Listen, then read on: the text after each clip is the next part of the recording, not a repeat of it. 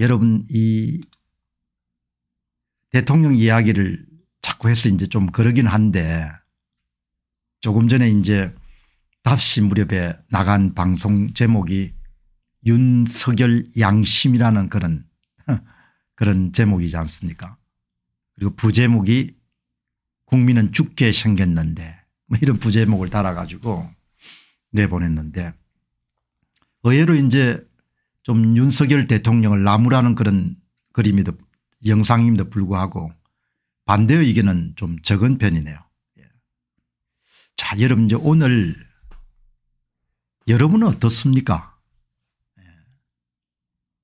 저는 윤석열 대통령이 취임 이전부터 시작해서 좀 석연치 않거든요. 예. 그런데 이제 10월 11일 강서구청장 보궐선거가 끝난 이후에 윤 대통령이 이제 보이는 반응을 보게 되면은 단순히 그 석연치 않다는 부분을 넘어가지고 야 이게 참 보통 문제가 아니구나 그런 생각이 들거든요. 무엇이 석연치 않은가라는 부분은 아마 여러분들이 짐작을 하실 겁니다.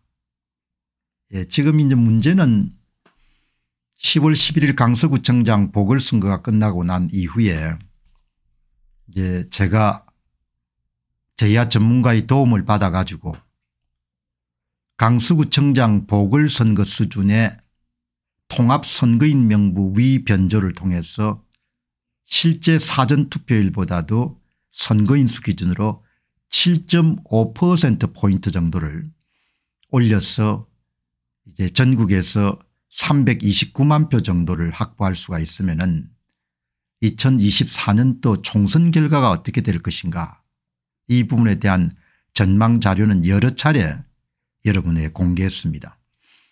대략 한 214석 정도를 비례대표를 포함해 가지고 더불어민주당이 차지할 것이다 이런 전망이 나오고 사전투표율을 5% 정도 끌어올리더라도 220만 표를 집어넣을 수 있기 때문에 지역구를 포함하고 비례대표를 포함하게 되면 202석 정도를 더불어민주당이 차지할 것이다. 그렇게 되면은 뭐 5% 정도만 조작을 하더라도 개헌 저지선과 탄핵 저지선이 모두 다 무너진다 그런 거지 않습니까 그것을 좀 다르게 이제 표현하게 되면은 대한민국 국민들이 참정권을 박탈당하는 일이 장기화될 가능성이 열리는 것이죠. 다르게 표현하게 되면 더불어민주당 중심의 일당 지배체제가 완성이 되는 것이고 선거를 장악한 사람들이 이제 일당 지배체제 실질적인 일당 지배체제를 성공시키는 그런 거사가 2024년 총선이다 이렇게 볼 수 있겠지 않습니까 그런데 윤석열 대통령은 전혀 10월 11일 강서구청장 보궐선거에 대해서 말씀을 안 하거든요. 예. 그러니까 이제 자연스럽게 여러분들도 그런 분들이 많으시겠지만 저는 윤석열 대통령이 과연 국민이 만든 대통령인가 그런 의문을 갖게 되는 것이죠. 그래서 이제 오늘 방송의 중반부에는 2022년도 3구 대통령 선거에서 윤석열 대통령이 당선되는 그런 아주 최대의 미스터리 부분을 조금 더 구체적으로 예전에 한 방송을 조금 했습니다마는 그렇게 살펴보도록 그렇게 하겠습니다. 국민이 노예가 되는 거지 않습니까 참정권을 박탈당하게 가지고 그런 상태에도 대통령이 저렇게 완강하게 침묵을 지킨다는 이야기는 그냥 대통령의 취향이나 정치적 입장이 아니고 특별한 그런 사연이나 사유가 있지 않고서는 저렇게 할 수가 없을 것이다 이렇게 보죠.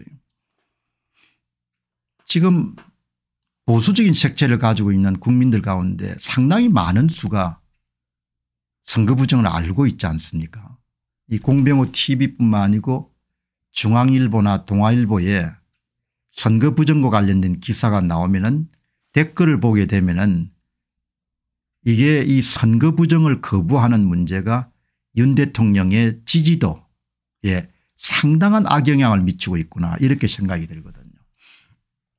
그러니까 대통령의 뭐 그런 어떤 그 적극적인 것이 아니고 뭔가 우리가 이해할 수가 없는 또 대통령이 공개할 수가 없는 그런 내용들이 깊게 이 윤석열 대통령이 선거에 대한 수사를 개시하지 않고 하는 부분에 숨어 있다 이렇게 볼 수가 있는 것이죠.